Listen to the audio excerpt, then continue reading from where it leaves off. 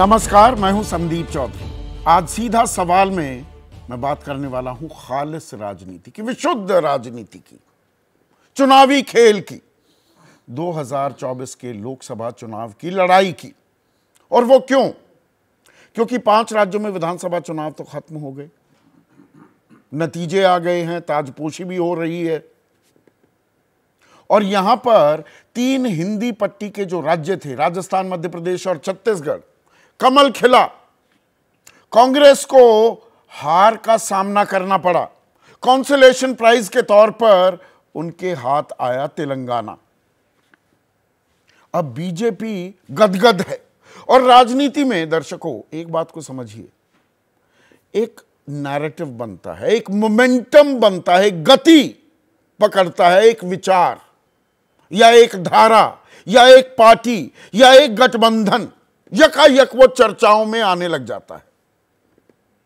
अब तीन तारीख को नतीजे आए और तब से आज पंद्रह तारीख है।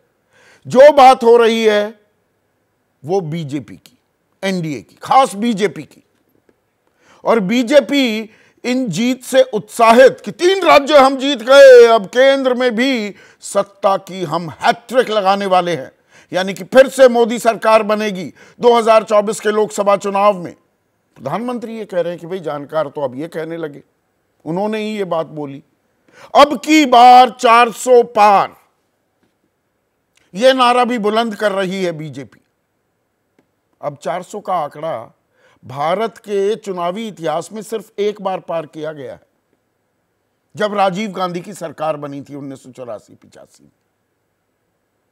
तो अब वहाँ तक ताल ठोक रही है। तो अब ताल तो हर कोई ठोकता है। पर बीजेपी ने क्या गणित फैला लिया है?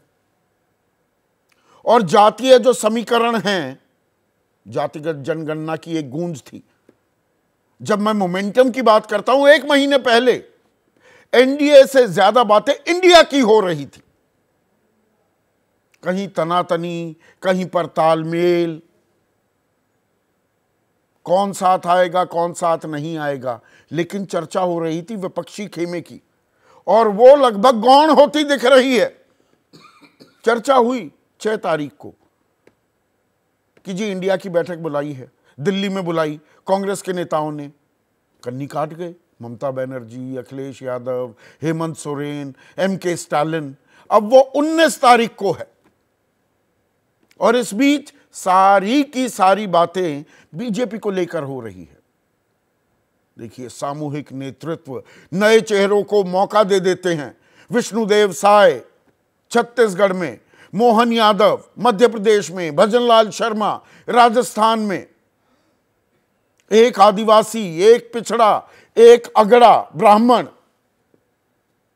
और साथ में हर जगह दो दो उप मुख्यमंत्री भी बना दिए। तो they are ticking all the right boxes बहुत सारे जानकार और विश्लेषक ये बात भी कह रहे हैं, लेकिन अंदर खाने क्या कुछ परेशानियाँ भी हैं जिनसे निपटना होगा बीजेपी को?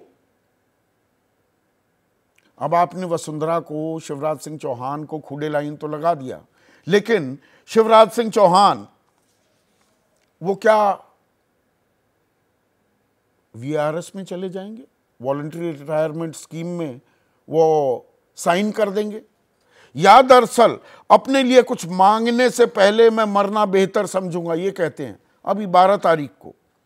तेरह नवंबर को कहते हैं, मित्रों, अब विदा, जस की तस रख दीनी चदरिया। कि हमने तो रख दीजिए चादर। ट्रैक्टर चलाते दिख रहे हैं खेत में। महिलाओं के साथ, बहनों के साथ, बिटियों के साथ खड़े होकर आँसू भी छलका रहे हैं। तो मामा के मन में क्या है? और मामा जैसे अनुशासित विधानसभा चुनाव में दिखे, क्या वो लोकसभा चुनाव में भी दिखेंगे? उनतीस में से अट्ठाईस सीटें जीती थी मध्य प्रदेश में। और यही सवाल वसुंधरा को लेकर भी है। वो चुप्पी साधे बैठी हैं। ट्विटर पर प्रधानमंत्री मोदी गृह मंत्री अमित शाह की ही पोस्ट साझा कर रही हैं। लेकिन क्या वो पूरे दमखम के साथ 24 के मैदान में भी जैसा वो अब डटी थी, डटी रहेंगी क्या?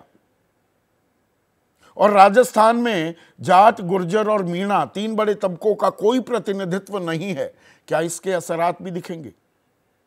ये भी कुछ ऐसे सवाल हैं, इनके जवाब भी हम लगातार तलाशते रहेंगे।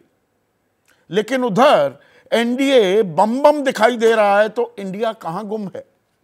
अब जो खबर आ रही है वो ये कि 19 तारीख को, आने वाली 19 तारीख को, चार दिन बाद बैठक होगी, दिल्ली में बैठक होगी। अब कितने लोग आएँगे? क्या मन मुटाव मतभेद, जमा मनभेद साध लिए गए हैं? और मनभेद भी सामने आए हैं पिछले कुछ दिनों में। तो अखिलेश यादव, क्या वही इंडिया की अगुवाई करेंगे उत्तर प्रदेश में? ममता बनर्जी वो सिर्फ़ कांग्रेस के साथ जाएँगी सीपीएम सीपीआई वाम खेमे के साथ जाने को तैयार नहीं। क्या उनकी बात मान ली जाएगी? नीतीश कुमार कहाँ पर हैं? खुद को कहाँ खड़ा पाते हैं? बीच में तबीयत नासाज थी। खबर यह भी आई कि 10 से 24 दिसंबर के बीच बनारस में वो रैली कर सकते हैं। सीधे प्रधानमंत्री मोदी को, उन्हीं के गढ़ में, उनके संसदीय क्षेत्र में टक्कर देंगे। अब वो रैली रद्द करने की भी खबरें आ रही है। ये सब जानकारी सूत्रों के हवाले से है। और 28 दिसंबर, जो कांग्रेस का स्थापना दिवस भी है, आरएसएस के गढ़ नागपुर में एक रैली करने वाले हैं, राहुल गांधी। अब यह खबर भी आ रही है, वो राहुल गांधी करेंगे कि इंडिया की रैली होगी? साझा रैली होगी क्या? या अकेले ताल ठोकेंगे। और वो भारत जोड़ो यात्रा का असर अब जो थोड़ा कम हो रहा था, खबर ये आ रही थी कि भाई उसका भाग दो सेकेंड एडिशन भी उस पर भी निकलने वाले हैं। अब कुल मिलाकर ढाई तीन महीने रह गए हैं। मार्च मध्य तक चुनावी घोषणा हो जाएगी, तारीखों का ऐलान हो जाएगा। अभी न्यू ईयर्स भी शुरू हो जाएगा। तो दरअसल आप देखें तो ढाई महीने का अब वक्त है। इंडिया के पास। सीट शेयरिंग भी करनी है, तालमेल भी बिठाना है, कोई संयोजक होगा या नहीं। समन्वय समिति तो बनी थी, समन्वय दिख नहीं रहा। कोई सचिवालय भी बनेगा और कॉमन मिनिमम प्रोग्राम मुद्दे क्या होंगे? या इधर उधर से मुद्दे की जातिगत जनगणना। उसका असर इन विधानसभा चुनाव में ज़्यादा नहीं दिखा है। पिछड़े वर्ग में कांग्रेस तो सेंधमारी नहीं कर पाई। शतरप कर पाएँगे क्या? जो विपक्षी गठबंधन इंडिया का हिस्सा है। सेलिंग पॉइंट क्या होगा? महँगाई, बेरोजगारी, इन्हें बड़ा मुद्दा बनाया जाएगा। पुरानी पेंशन कहने को बहुत लंबी फेहरिस्त है, लेकिन चुनाव एक दो मुद्दों के इर्द गिर्द घूमता दिखाई देता है। और उसमें बीजेपी ने क्या मंडल और कमंडल दोनों साधने का मन बना लिया है? हिंदुत्व कार्ड वो खुलकर खेल रही है। तीनों जो मुख्यमंत्री बनाए गए हैं, नए चेहरे हैं आरएसएस पृष्ठभूमि के हैं और हिंदुत्व की जो बात है उसे आगे बढ़ाते हुए दिखाई देते हैं। 22 जनवरी को प्राण प्रतिष्ठा भी होगी राम जन्मभूमि में। तो हिंदुत्व को आगे लेकर और पिछड़ी जाति साथ रहे, इसीलिए प्रधानमंत्री मोदी अब चार जातियों की बात करते हैं। गरीब, किसान, युवा और महिला। तो किसकी रणनीति में फ़िलहाल ज़्यादा दम दिख रहा है और किसके लिए आने वाले दिन में कुछ और अवसर खुलते दिखाई देंगे? इसी पर आज हम चर्चा करने वाले हैं। ऐसे में आज का सीधा सवाल 24 का रण, किसमें कितना दम? और एनडीए बम बम, इंडिया कहाँ गुम? यह रणनीति बन रही है? चर्चा में मेरे साथ अभय दुबे जाने माने राजनीतिक विश्लेषक हैं, प्रदीप सिंह, वरिष्ठ पत्रकार हैं, किसी परिचय के मोहताज नहीं हैं। शरद प्रधान लखनऊ से हमारे साथ जुड़ गए हैं। अभिज्ञान प्रकाश पत्रकार तो हैं ही, लेखक भी हैं। फ्रॉम लखनऊ टू लुटियंस इन्होंने किताब लिखी, उसमें पावर और प्लाइट ऑफ़ उत्तर प्रदेश की बात की। यहाँ पर पावर ताकत और प्लाइट दुर्दशा किस खेमे में है वो मैं इनसे बात करने वाला हूँ। और वरिष्ठ पत्रकार सत्य हिंदी डॉट कॉम नाम का डिजिटल प्लेटफॉर्म चलाते हैं।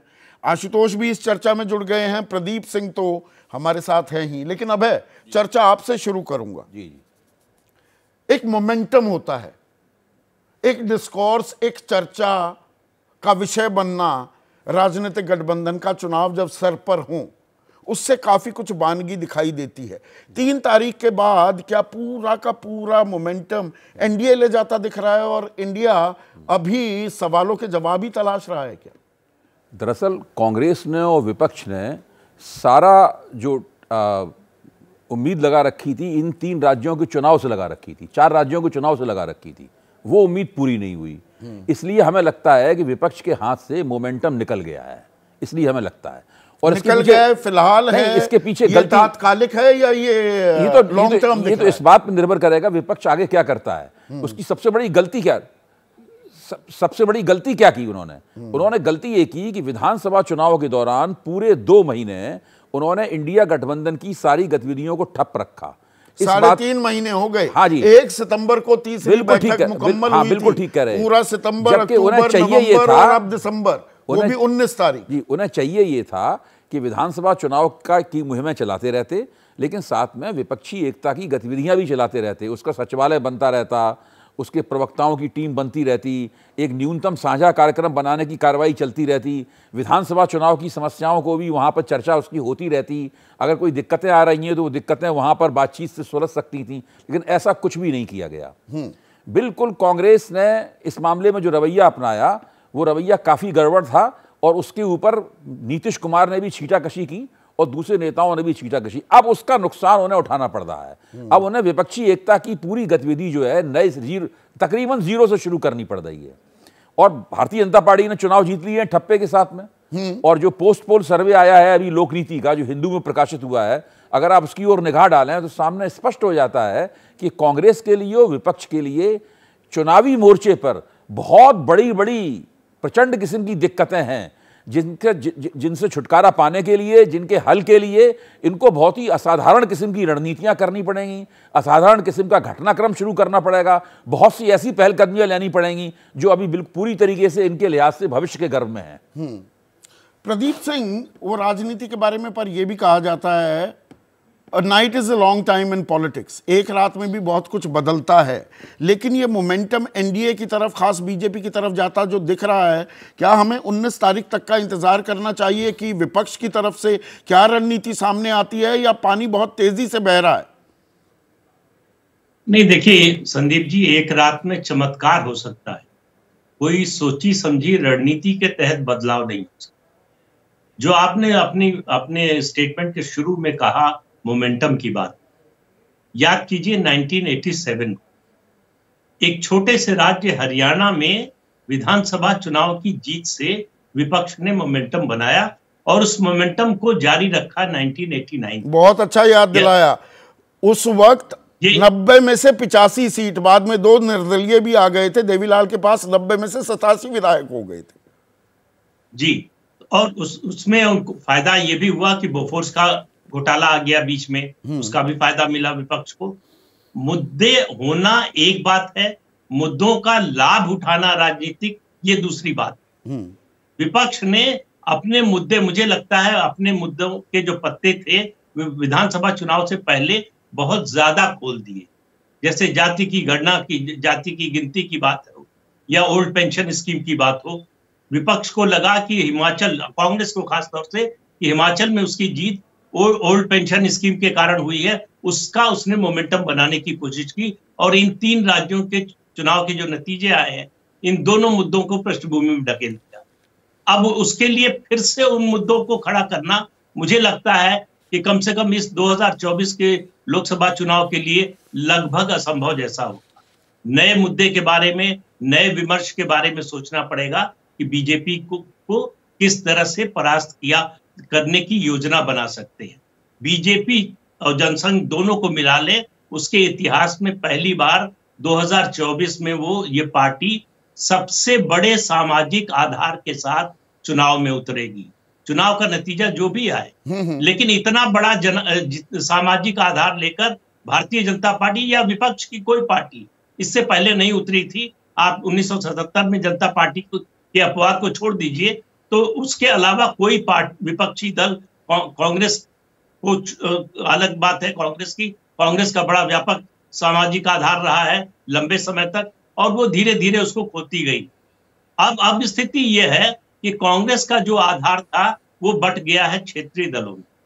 तो जहाँ साथ की बात है, वहाँ डर भी है। अखिलेश यादव को उत्तर प्रदेश में डर है कि अगर कांग्रेस का साथ दिया, एक ज़्यादा साथ रहे तो ऐसा ना हो कि हमारा मुस्लिम वोट छिटक जाए और आगे वो कांग्रेस के साथ चला जाए जो कर्नाटक और तेलंगाना से इस बात के संकेत मिले हैं कि हम्म। मुस्लिम मतदाता राष्ट्रीय स्तर पर कांग्रेस के साथ जाने के लिए तैयार है उसे लग रहा है कि अगर राष्ट्रीय स्तर पर बीजेपी का कोई मुकाबला कर सकता है तो वो कांग्रेस पार्टी ही है हम्म। तो ये ये जो क्षेत्रीय दलों के डर है क्योंकि कांग्रेस जहाँ मज़बूत है वहाँ उसकी बीजेपी से सीधी लड़ाई तो बाकी जगहों पर बाकी राज्यों में उस उसको क्षेत्रीय दलों से लेना है वो देने की स्थिति में नहीं है। हम्म। तो क्षेत्रीय दल कितना देने को तैयार होंगे कितना एकोमोडेट करने को तैयार होंगे? जो मध्य प्रदेश में हुआ अखिलेश यादव के साथ उसके बाद अखिलेश यादव का क्या क्या रवैया होगा? और और दूसरे दलों का ममता बनर्जी का क्या रवैया होगा? यूपीए से बाहर देखिए जहाँ जहाँ यूपीए का समझौता है गठबंधन है वो तो बना रहेगा। उसके बाहर क्या कोई नया समझौता हो पाएगा? सीटों का तालमेल हो पाएगा? ये एक बड़ा प्रश्न है। ये आपने अहम बात कही यूपीए तो बना रहेगा वो इंडिया बन पाएगा क्या? पर अगर हम बीजेपी की बात करें एनडीए की बात करें जो ये ताल ठोकी जा रही है और ताल ठोकने का तो हक सबको होता है कि भाई अब की बार 400 पार सत्ता की हैट्रिक लेकिन अगर हम आंकड़ों में जाएँ प्रदीप जी तो 130 सीटें जो दक्षिण भारत की हैं वहाँ पर तो 25 जीते थे 28 में से कर्नाटक में और तेलंगाना में चार सीटें आई थी 130 में से उनतीस सीटें। कर्नाटक में सत्ता चली गई है। साउथ ऑफ़ विंध्याज माहौल कुछ और है, उसकी हम चर्चा कम ही करते हैं। और उड़ीसा की भी बात करें, आठ सीटें जीत गए थे पश्चिम बंगाल में 18 और महाराष्ट्र में जो पेंच है, बयालीस सीटें एनडीए जीता था। तो यहाँ पर बाकी सब जगह तो मैक्सिमम है वहाँ कोई और बढ़त बनाने का स्कोप बहुत कम, बहुत लिमिटेड हो जाता है। तो ये भी एक अपने आप में जो एनडीए फ़िलहाल मज़बूत दिख रहा है, ये भी एक परेशानी है क्या उनके लिए? नहीं, देखिए, मुझे नहीं लगता कि दक्षिण में तेलंगाना के अलावा कहीं कुछ बढ़ने की बीजेपी की संभावना है। अगर कर्नाटक में जो उसको मिला था पिछली बार 2019 में जेडीएस से अलायंस के बाद अगर उस उसको दोहराने में कामयाब होती है तो ये बड़ी उपलब्धि है। लेकिन तेलंगाना में निश्चित रूप से उसके लिए संभावना पिछले चुनाव की तुलना में बेहतर है। मुझे नहीं लगता कि आंध्र प्रदेश, तमिलनाडु और केरल में भारतीय जनता पार्टी के लिए कोई संभावना, उसका वोट बेस ज़रूर थोड़ा बहुत बढ़ सकता है, लेकिन सीटें मिलेंगी, इसकी मुझे उम्मीद नहीं है। महाराष्ट्र की आपने बात की, महाराष्ट्र में अभी जो ग्राम पंचायत के चुनाव हुए, उससे लगता है ये जो दो पार्टियाँ नई साथ में आई हैं एनडीए में अजीत पवार की और एक नाथ शिंदे की, ये दोनों अपने साथ वोट बेस भी लेकर आएँगे। अब वो लोकसभा और विधानसभा में कितना कन्वर्ट होता है, ये देखने की बात होगी। लेकिन महाराष्ट्र में कम से कम जो है एनडीए 2019 की तुलना में मुझे कमज़ोर नहीं दिखाई देता। बिहार में निश्चित रूप से एनडीए की कमज़ोरी दिखती है, लेकिन बीजेपी पिछली बार 17 सीटों पर लड़ी थी और सत्रह की सत्रह जीती थी। मुझे नहीं लगता कि सत्रह से कम बिहार में बीजेपी की आने वाली है क्योंकि इस बार वो सीटें भी ज़्यादा लड़ेगी। और प्रधानमंत्री नरेंद्र मोदी जब अपने लिए वोट मांगने के लिए निकलते हैं तो उनको बीजेपी से अतिरिक्त वोट मिलते हैं। अब वो वोट सीट में कितना कन्वर्ट होगा ये उसका एक अलग ही गणित अलग ही पश्चिम बंगाल? पश्चिम बंगाल में निश्चित रूप से बीजेपी के लिए एक निर्णायक जो मुद्दा बनेगा वो है सीएए मथुआ समुदाय 2018 में साथ आया था इस आश्वासन के साथ कि बीजेपी सीएए का कानून बनाएगी। 2021 तक उन्होंने इंतज़ार किया, नहीं आया, उन्होंने साथ छोड़ दिया। अगर दो 2024 से पहले सीए लागू नहीं होता तो पश्चिम बंगाल में बीजेपी की स्थिति खराब होगी 2019 से खराब परफॉर्मेंस होगी। और इसमें अगर मैं ये शिवराज जिस तरह के उनके बयान आ रहे हैं, चादर की बात कर रहे हैं, मैं कभी दिल्ली नहीं जाऊँगा, भीख नहीं मांगूँगा, महिलाओं से मिल रहे हैं और वसुंधरा की चुप्पी, वो बिल्कुल चुप्पी साधे बैठी हैं। इसके कुछ असरात 2024 में दिख सकते हैं, अभी तो ये सब साथ लड़े थे बीजेपी में। मैं अब मध्य प्रदेश और राजस्थान का सवाल पूछ रहा हूँ। नहीं, देखिए कैडर बेस्ड पार्टी में नेता की ताकत उतनी ही होती है जब तक, तभी तक होती है जब तक कैडर साथ होता है। आप देख लीजिए बड़े बड़े नेता गए। गुजरात में केशु भाई पटेल से बड़ा तो कोई नेता था नहीं। मध्य प्रदेश में उमा भारती से बड़ा कोई नहीं था उस समय। तो जो लोग गए छोड़कर पार्टी उनका साथ कैडर छोड़ देता है और ये तो पार्टी के अंदर है। हम्म। पार्टी के अंदर रह के ये असंतुष्ट हो सकते हैं। इनको नाराज़गी भी हो सकती है इनको तकलीफ़ भी हो सकती है लेकिन पार्टी के खिलाफ काम करने लगेंगे न मुझे ये, ये, मैंने ये सवाल ये सवाल प्रदीप जी क्योंकि आपने इतने सालों बीजेपी कवर की है अंदर खाने क्या होता है आपके पास जानकारियाँ रहती हैं।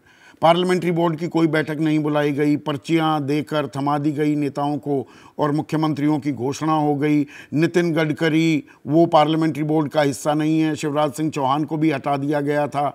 योगी आदित्यनाथ को लेकर भी कुछ ना कुछ खबरें आती रहती हैं। तो अंदर खाने जो वो कलेक्टिव लीडरशिप सामूहिक नेतृत्व की जो बात है, वो कहीं कुछ अकलीज हील भी साबित हो सकता है क्या बीजेपी की? मुझे नहीं लगता, आप याद कीजिए जहाँ तक मुझे याद आ रहा है कि 2003 में जब वसुंधरा राजे सिंधिया उमा भारती और रमन सिंह को तीनों राज्यों में भेजा गया था, तब भी कोई पार्लियामेंट्री बोर्ड की बैठक नहीं हुई। आडवाणी जी ने बुला के इन तीनों लोगों को बताया था कि आपको यहाँ यहाँ इस इस राज्य में प्रदेश अध्यक्ष के रूप में ज़िम्मेदारी संभालनी है, चुनाव का नेतृत्व करना है। तो ये ये ये बातें चर्चा के लिए ये ठीक है कि किसी भी डेमोक्रेटिक पार्टी में अगर इंटरनल डेमोक्रेसी है तो पार्लियामेंट्री बोर्ड की बैठक होनी चाहिए डिस्कशन होना चाहिए खुला खुला विचार विमर्श होना चाहिए सबकी राय ली जानी चाहिए। लेकिन फैसला पार्टियों में जो भी चुनावी राजनीति में शामिल पार्टियाँ हैं उसमें वही नेता करता है जिसके पास वोट तो मतलब ये ज़्यादा बड़ा चिंता का सबब नहीं होगा। ऐसे में अभिज्ञान प्रकाश आपकी किताब से ही मैं आपके टाइटल से सवाल चुराऊं। From Lucknow to Lutyens the power and plight of Uttar Pradesh अब मैं यहाँ पर इसको टैगलाइन जो है the power and plight of these alliances power कहाँ ज़्यादा दिख रही है? ताकत और प्लाइट दुर्दशा कहाँ पर दिख रही है? नहीं, बिल्कुल क्लियर है कि अभय दुबे ने एक पॉइंट रखा और उसी के एक्सटेंशन से हम बात करेंगे। इस किताब जिसका आप ज़िक्र कर रहे हैं, इसी में एक चैप्टर है द कांग्रेस कलैप्स। और 1989 के बाद से कांग्रेस कैसे उत्तर प्रदेश में कभी किसी पावर इक्वेशन के आसपास नहीं आई। अभय दुबे ने एक बहुत वैलिड पॉइंट रखा, उसके मैं प्रदीप जी को सुन रहा था, कि आपने कोई माहौल बनाने की तरफ़ कि इंडिया है, एक अलायंस है, एक ऑपोजिशन कॉम्पोजिशन है, एक ऑपोजिशन यूनिटी है, वो एक्टिवेटेड है, उसकी तरह शायद आप कंप्लेसेंट हो गए, यानी कि आराम तलय हो गए क्या रीजन था, क्या कारण है, वो मुझे नहीं पता। लेकिन एकदम से ऐसा लगा कि आप मध्य प्रदेश और राजस्थान और छत्तीसगढ़ जीत रहे हैं और कमाल होने वाला है और बीजेपी के लिए बहुत कुछ बर्बाद हो जाएगा एंड टेक ऑफ़ हो जाएगा इंडिया अलायंस का। हुआ एग्जैक्टली exactly उसका ऑपोजिट दूसरी बड़ी बात जो है, वो कांग्रेस पर बात करना यहाँ बहुत ज़रूरी है। एक मोमेंटम बनाया कांग्रेस ने, उसको एक्सटेंड करके ले गई। कर्नाटका उसका टर्निंग पॉइंट रहा। प्रिसीडिंग दैट राहुल गांधी से एकदम से वो मोमेंटम फुस पड़ गया। क्योंकि कांग्रेस को समझना होगा कि जो भी ये इंडिया अलायंस का कॉम्पोजिशन होगा, जो भी उसका स्वरूप अंततः बनकर आता है, उसमें कांग्रेस जितनी कमज़ोर होगी, उसकी अपनी पोजीशन और बार्गेनिंग पावर भी उतनी कमज़ोर होगी। क्योंकि स्ट्रांग रीजनल एलाइज हैं। जिस तरह के उसके सारे बाकी साथी हैं, वो अपने अपने गढ़ों में कई दशकों से राजनीति करके बसे हुए हैं। तो कांग्रेस जो है, वो भी कमज़ोर होती है which again will be a great sign for the BJP simply क्योंकि नेशनल ऑल्टरनेटिव के तौर पे अभी भी कांग्रेस को देखा जाता है। तो ये कुछ चीज़ें ऐसी हुई जो मुझे ऐसा लगा, और ये सिर्फ़ मेरा आकलन है कि इसलिए ये लोग कमज़ोर नज़र आ रहे हैं, क्योंकि आखिरी के डेढ़ दो महीने मीडिया की चर्चाओं में भी मैंने सुना, टेलीविज़न पर, डिजिटल पर, हर जगह। तो ऐसा एक माहौल सा हुआ कि बीजेपी हार रही है इन तीन बड़े राज्यों में और कांग्रेस आ रही है और यही से टर्न अराउंड हो जाएगा। नहीं यहाँ पर इस बीच जो खबरें भी आती हैं और आपने बहुत खबरें ब्रेक की हैं। अभिज्ञान कि जी 28 तारीख को स्थापना दिवस जो है कांग्रेस का राहुल गांधी नागपुर में एक जनसभा करेंगे। खबर ये भी आ रही है हमारे सूत्रों के हवाले से 10 लाख की भीड़ वहाँ इकट्ठा करने का इरादा बना लिया है टारगेट बना लिया है कांग्रेस ने। अरे भाई 19 तारीख को तो इंडिया की बैठक होने वाली है, ये साझा रैली होगी, इंडिया की रैली होगी, ये राहुल गांधी की होगी, ये अपने आप में कई पेच सामने पेश आ जाते हैं क्या? संदीप बड़ा अच्छा पॉइंट है, इसमें मैं बोलना चाहता हूँ, क्योंकि बिल्कुल एकदम ना ले मैन के तौर पर सोचिए, अभी सब बहुत बड़े और बहुत सीनियर जर्नलिस्ट बैठे हम लोग हटा दें अपने दिमाग से कि हमने जर्नलिज्म के पॉइंट ऑफ़ व्यू आम आदमी को एक सवाल था चौदह से लेकर अब तक उसका एक ही सवाल है अगर ये लोग नहीं तो विकल्प क्या है? राइट यही हम्म। सवाल है ना आम आदमी का और तो दूसरा कोई सवाल है नहीं। अब क्या बहुत अच्छा पॉइंट आपने रखा है संदीप। अब होता क्या है कि वो देख रहे हैं कि वो मीटिंग नहीं हुई वो रैली हो रही है राहुल गांधी की। मे भी बहुत सक्सेसफुल रैली होगी राहुल गांधी की वो करे बहुत अच्छी बात है। बट उसको इस वक्त बीजेपी अर्थात नरेंद्र मोदी जो छाती ठोक के कहते मेरी गारंटी पर वोट मिला है और मिलता है। तो उनका ऑल्टरनेटिव क्या है? अब अगर आप इसी कंफ्यूजन को जिसमें कि मुश्किल से ढाई तीन महीना बचा है तारीखों के अनाउंसमेंट का ऐसे ही बनाकर रखेंगे तो जो मूल प्रश्न है कि विकल्प क्या है मोदी का उसका तो और वो ज़रूरी नहीं चेहरा हो बीजेपी के सवाल का जवाब देना विपक्ष की कोई ज़िम्मेदारी नहीं है ऐसी कोई जवाबदेही नहीं है। वो कह दें कि हमारा हमारा कलेक्टिव अलायंस है। चेहरा हो। हाँ। चेहरा भी ना हो कि सामूहिक है जी और चेहरा हम बाद में तय कर लेंगे। 2004 के चुनाव में भी कोई चेहरा नहीं था।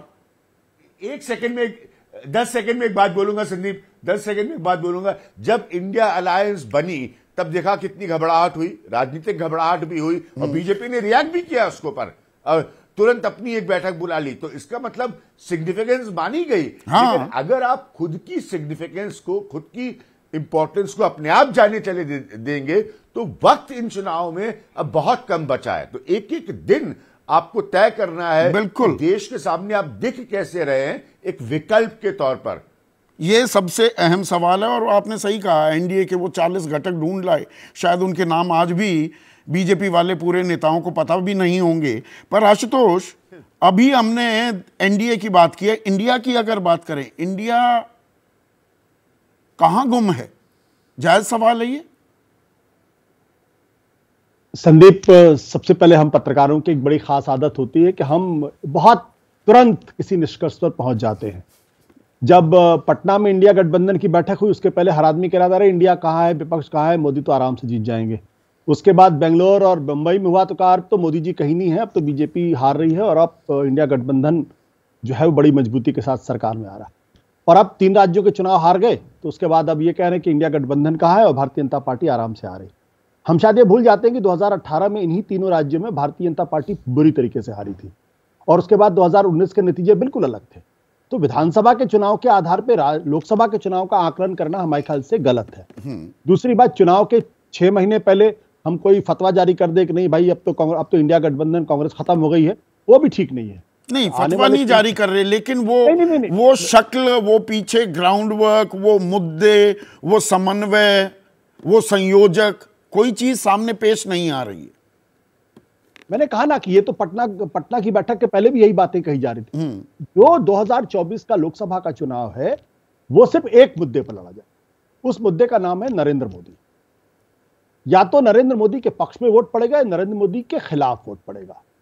इसके अलावा अगर हम ये बैठकर सोचते हैं कि महँगाई पे मुद्दा हो जाएगा या बेरोजगारी पे हो जाएगा, हिंदुत्व पे वोट पड़ जाएगा, नेशनलिज्म पे वोट पड़ जाएगा, या लाभार्थी योजना पे हो जाएगा, लाडली बहना जैसी योजना पे हो जाएगा, फ्री राशन पे हो जाएगा, मुझे ये लगता नहीं है। तो जैसे इंदिरा गांधी के जमाने में या तो इंदिरा गांधी के खिलाफ वोट पड़ता था या इंदिरा गांधी के पक्ष में वोट पड़ता था। मुझे लगता है कि आज की तारीख में जब हम बात करते हैं तो सबसे पहले यह समझना पड़ेगा कि 2000 का 24 का चुनाव 2019 की तरीके से सिर्फ़ और सिर्फ़ नरेंद्र मोदी के मुद्दे पर ही लड़ा जाएगा।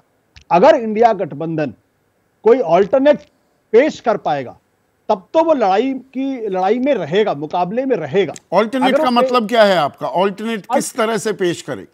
अल्टरनेट का मतलब देखिए अगर आप इस विधानसभा के चुनाव के का भी अगर आकलन करें तो आपको इस बात का जो लोग ये कह रहे हैं कांग्रेस पार्टी खत्म हो गई।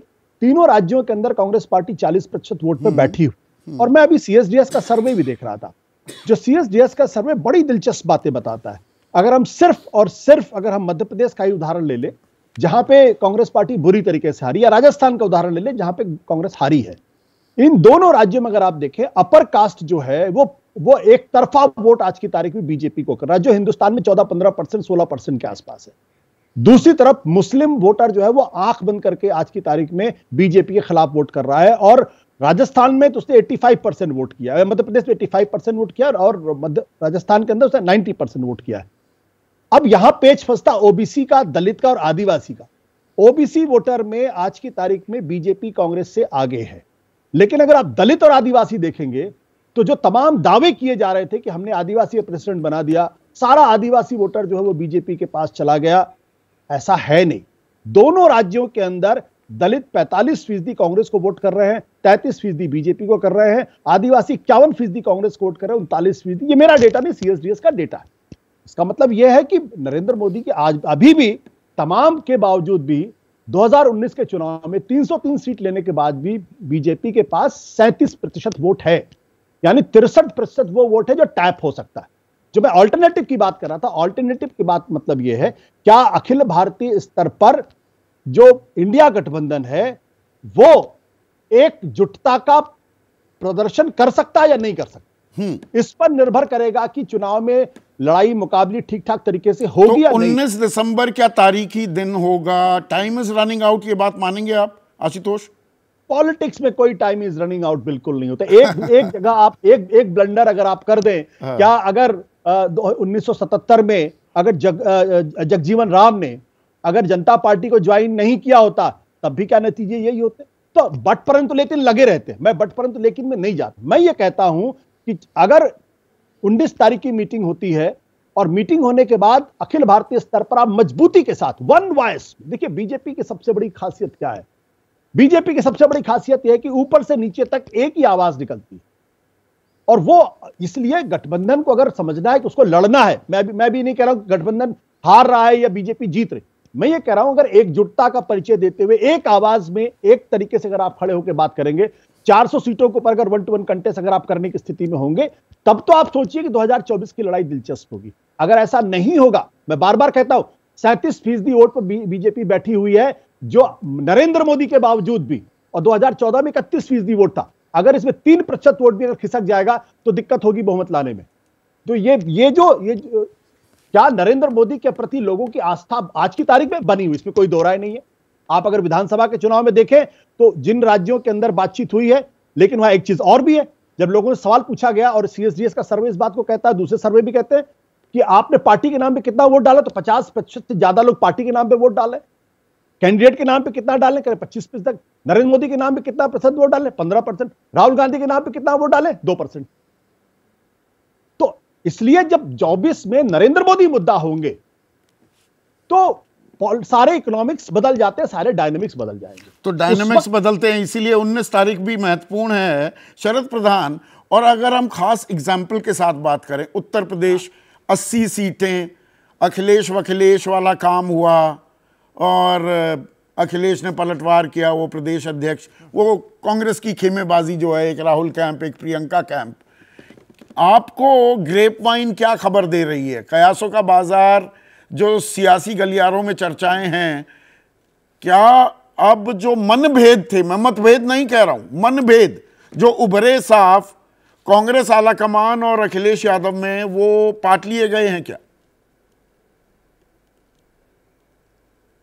ये बात ये सुनने में आ रही है कि बातचीत अंदर अंदर हो गई है और अब वो जो मनभेद है, वो तो फ़िलहाल सिंक कर दिए गए हैं। लेकिन सबसे बड़ी प्रॉब्लम क्या आती है कि अंदर एक और भी फैक्टर है इनमें दिखता है, जो जो मुमकिन है कि वो एक कारण हो कि ये जो मनभेद, मतभेद में बदल जाता है, वो उसके पीछे ये भी हो सकता है जिस तरह से ईडी और सीबीआई इनकम टैक्स ये जब छोड़ दिए जाते हैं विपक्षी दलों के पीछे और ये कारण माना जाता है कि मायावती भी जिस तरीके से एक तरीके से तथस्थ हो गई हैं और ख़ासतौर से वो उनका जो कुछ बोलती हैं वो बीजेपी को फेवर करने के लिए बोलती हैं। हम्म। उसके पीछे भी वो कारण दिखता है। तो कभी कभी ये भी समझ में आता है कि कहीं अखिलेश के पीछे भी ये कारण तो नहीं है। क्योंकि आप देखिए जहाँ तक दौलत का सवाल है हर पॉलिटिकल पार्टी के पास अपार दौलत होती है। अब ये अलग बात है कि बीजेपी वाले क्योंकि सत्ता में हैं तो वो तो सब दूध के धुले हुए हैं। तो सारा टारगेटिंग जो है वो अपोजिशन के ऊपर एंड बीजेपी को बड़ा सूट करता है ऐसा माहौल कि विपक्ष को एक ना होने दें। इसमें ये कोई दो राय नहीं है कि कांग्रेस और समाजवादी पार्टी दोनों ही ने अपने पैर पे कुल्हाड़ी क्या मारी? कुल्हाड़ी पे पैर मारा है जो मध्य प्रदेश में जो हरकत हुई और जिस तरीके से कैंडिडेट ये ठीक है कि अखिलेश को जो वोट मिले अखिलेश की पार्टी को वो कुछ भी नहीं थे। मतलब zero point some percent vote जितने तो मतलब अभी वो मनभेद सिंक हो गए हैं आप ये कह रहे हैं जिस तरीके की तू मैं हुई उस तर... नीतीश कुमार हाँ। के बारे में ये मैसेज बात मैसेज गर्म तो थी। पब्लिक में जाता ना कि एक साथ नहीं है। हाँ वाराणसी में वो रैली करने वाले थे। अब वो स्थगित हो गई है उसके पीछे कोई खास वजह है कुछ? हाँ। पता लगी आप जब नेताओं से मुलाकात करते हैं? नहीं मुझे मुझे लगता है कि इस ऑन से जिस तरह ये ऑन सेकंड थॉट्स मुझे लगता है ऑन सेकंड थॉट्स ये डिसीज़न लिया गया है। कि वो करने से कोई वे उसी तरीके का खेल हो जाएगा जैसे अरविंद केजरीवाल गए थे वहाँ लड़ने और अपनी एनर्जीज वेस्ट करना है। जिस तरीके का जो जो नीतीश कुमार का प्लान था वहाँ जाके लड़ना है। ठीक है आप अपने आप को प्रोजेक्ट करना नहीं कुर्मी वोट बैंक साधने की भी बात है। वहाँ आसपास के लगभग बारह ज़िले जो हैं आप मुझसे बेहतर जानते हैं शरद प्रधान। वो जो बारह ज़िले हैं वहाँ पर पचास हज़ार हाँ, से हाँ, ढाई लाख तक की कुर्मी की तादाद है। तो वो एक गेम प्लान के तहत दरअसल ये प्लानिंग हुई थी। बहुत बहुत अच्छी ये पूरा तो ये ये तो देखिए देखिए बिना डायरेक्टली मोदी को वहाँ से चैलेंज करे हुए भी रैली कर सकते हैं वो। रैली का तो वक्त आएगा करने का। और साधने के लिए बिल्कुल एफर्ट करना चाहिए। सबसे ज़रूरी क्या है कि एकजुटता संयोजक कौन होगा अगुवाई कौन करेगा? लाख टके का सवाल क्या ये रहने वाला है? उन्नीस तारीख को क्या ये चीज़ सामने आनी ज़रूरी भी हो जाती है? ये ये बिल्कुल बिल्कुल ये आनी चाहिए और एक जब आप 19 तारीख को मिले एक तो इतना वक्त लगा है कोई अगर इनकी जगह अगर बीजेपी होती तो तीन तारीख के बाद वो पाँच तारीख को बैठ गए होते ये मीटिंग करने। नहीं बीजेपी तो 22 और 23 दिसंबर को बैठक बुला ली प्रदेश अध्यक्ष प्रदेश संगठन मंत्री प्रभारी सब आ रहे हैं। 22 से 23 बीजेपी तो अगली बैठक उनकी तय भी हो गई। बिल्कुल यही तो फ़र्क है कि वो 24 four by seven election board में रहते हैं और ये सोते रहते हैं। हम्म। इन लोगों का विपक्ष की सबसे बड़ी कमी यही है कि ना तो ये एकजुट हो पा रहे हैं ना एकजुट दिख रहे हैं और दूसरा जिस रफ्तार पे चल रहे हैं वो बीजेपी से लड़ने के लिए काफ़ी नहीं है। अगर राहुल गांधी आज जैसा आपने बताया कि वो जो दूसरी यात्रा ईस्ट टू वेस्ट निकलने वाली बात है वो, वो कहाँ गई? अगर ये तीन महीने पहले करते जब उस समय बात हो रही थी जो सबसे बड़ी वो यही वो सबसे बड़ी प्रॉब्लम यही है कि ये सारे इन्होंने सारे अपने जो है वो उस पर लगा दिया इन चारों स्टेट्स के इलेक्शन पे कि ये सोच के बैठ लिया पहले से ही सोच लिया उसमें चले गए डिनायल मोड में चले गए कि हम तो ये तो हार ही रही बीजेपी हकीकत से दूर रहे। नतीजा ये हुआ कि आज उनको जो आपने शुरू में कहा बहुत सही कि फिर से बैक टू स्क्वायर वन हो गए। हम्म। वहाँ से शुरू कर रहे हैं। और समय इतना है नहीं। मेरा मानना ये भी है Sandeep maybe I am wrong लेकिन जिस तरीके का माहौल बना हुआ है यह भी मुमकिन है कि इलेक्शन प्रीपोन करा दिया जाए। प्रीपोन की तो खैर तो नौबत नहीं आएगी अभी बहुत कुछ और भी होना बाकी है मुद्दे अभी एनडीए की तरफ़ से भी तय होने आप बीच में कुछ इंटरवेंशन भी करना चाह रहे हैं। ने जो कहा ना कि विपक्ष को अपनी एकता दिखानी पड़ेगी लेकिन विपक्ष एकता कैसे दिखाएगा? उसके कुछ स्थापित तौर तरीके हैं जो गठजोड़ राजनीति ने हमें थमाए हैं। उसका सबसे पहला और ज़रूरी तरीका यह है कि आप एक न्यूनतम साझा कार्यक्रम बनाइए। ये सबसे सरल काम था। इस पर बड़ी आसानी के साथ आपसी एकता स्थापित की जा सकती थी। मैं कभी कभी मज़ाक में कहता हूँ मुझे दे देते काम में बना के दे देता। आप थोड़े बहुत संशोधन के साथ उसको मान लेते। लेकिन मुझे भी नहीं दिया गया तो खुद भी नहीं किया और खुद भी नहीं किया। तो मैं तो मैं तो ये मैं तो ये कहता हूँ कि अगर आप न्यूनतम साझा कार्यक्रम बना लें उस न्यूनतम साझा कार्यक्रम को तमाम इंडिया के जो दल हैं, वो कहें कि हमारा घोषणा पत्र है। हम अपना घोषणा पत्र आपको याद कीजिए, जब एनडीए बना था तो अडवाणी ने कहा था कि हम भाजपा का घोषणा पत्र अलग से जारी नहीं करेंगे, क्योंकि राष्ट्रीय जनतांत्रिक गठजोड़ का घोषणा पत्र ही हमारा घोषणा पत्र है। जब आप कहेंगे यही हमारा घोषणा पत्र है, ये हम इस मोर्चे की तरफ़ से लड़ेंगे तब और संयोजक ये है हाँ, इस मोर्चे का। हाँ ये संयोजक ये है और संयोजक तो काम मोर्चे की संगठनात्मक कामकाज को Exactly, वो इसका मतलब ये नहीं कि। प्रधानमंत्री पद का कोई मतभेद नहीं होना था। तो जिन चीज़ों पे कोई मतभेद नहीं होना था कोई झगड़ा नहीं होना था वो काम भी इन लोगों ने नहीं किए। वो काम भी नहीं हुए और जो असल असल झगड़े की जड़ बनेगा वो है सीट शेयरिंग वो तो बहुत दूर की कौड़ी है। मुझे मैं ये मानता हूँ कि सीट शेयरिंग पे भी कुछ प्रांतों आशुतोष जी मेरी बात की तस्दीक करेंगे। कुछ प्रांतों को छोड़ के कहीं ज़्यादा बहुत बड़ा झगड़ा नहीं होने वाला है। इसलिए नहीं होने वाला है कि बहुत सारी जगहों पे तो कांग्रेस और भारतीय जनता पार्टी में सीधा मुकाबला है। हम लोग हमेशा इस बात को कहते रहे हैं कि विपक्ष अगर 2024 में अच्छा प्रदर्शन करना चाहता है तो उसकी पहली और आखिरी शर्त है कांग्रेस का अपने प्रभाव के इलाकों में अच्छा प्रदर्शन। और यहीं पे कांग्रेस ने अपने आप दो कदम पीछे हटा लिए हैं। इन 190 में से प्रदर्शन 178 जीत गई तो थी बीजेपी हाँ, पिछली बार जहाँ सीधी टक्कर थी। देखिए ये जो समस्या है इस समस्या का कांग्रेस के पाले में गेंद है और कांग्रेस को वो गेंद ठीक से खेलनी पड़ेगी। पर अब कांग्रेस को झुकना पड़ेगा। एक सिल्वर लाइन भी क्लाउड्स में दिख रही है जितना झुकना हो तो उससे ज़्यादा झुक जाए उससे कोई फ़र्क नहीं। मेरा कहना है जितना झुकना है उससे ज़्यादा भी झुक जाए उससे कोई फ़र्क नहीं पड़ता। सवाल यह है कि आपको अपना पूरा खेल बनाना है कि नहीं बनाना राष्ट्रीय स्तर पर जनता को आपको एक कोई एकता का नैरेटिव देना है कि नहीं देना है? नहीं देना है तो अपने घर बैठिए 2024 में जीतने की जीतने का क्लेम क्यों करते तो हैं? सीधी सीधी लाइन जो दे रहे हैं अबे दुबे विपक्ष को अपना खेल बनाना होगा। एनडीए ने खास बीजेपी ने अपनी रणनीति तो तैयार कर ली है उसमें और इजाफा ही होगा। तो 19 तारीख कितनी अहम तारीख रहने वाली है? कुछ करेगा विपक्ष? कुछ आउट ऑफ़ द बॉक्स भी लेकर आएगा कोई सरप्राइज़ एलिमेंट होगा और राजनीति में सरप्राइज़ आ सकते हैं। इस बात को लेकर मैं इतफाक रखता हूँ आशुतोष से। आप सभी का बहुत बहुत शुक्रिया।